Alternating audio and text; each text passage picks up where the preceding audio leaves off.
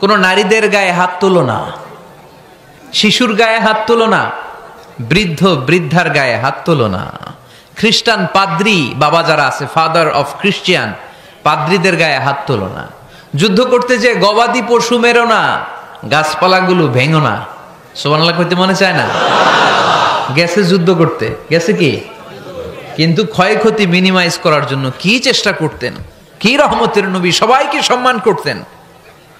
সবাইকে মানুষ হিসেবে দেখতেন। আমরা ভাগ করে ফেলি। আমরা